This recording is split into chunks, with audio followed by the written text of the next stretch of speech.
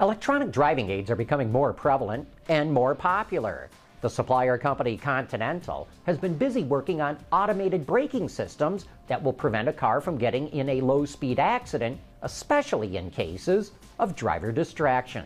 Take a look. Hello, my name is Catalin Bugneziano. I'm with Continental developing driver assistance systems.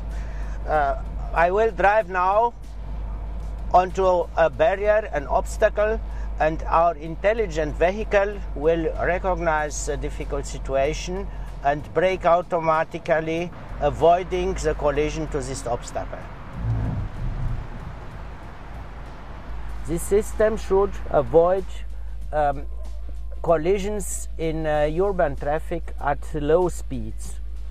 Uh, you know what happens if you are in a traffic jam in a slow moving traffic maybe the vehicle in front of you stops suddenly and our vehicle is so intelligent to recognize uh, the difficult situation and to brake by himself. Continental will soon have an addition to that system that will automatically brake for pedestrians who are in front of a car. What if we always settled for the first thing that came along? Then we'd never have gotten here. Introducing the Sonata Hybrid from Hyundai.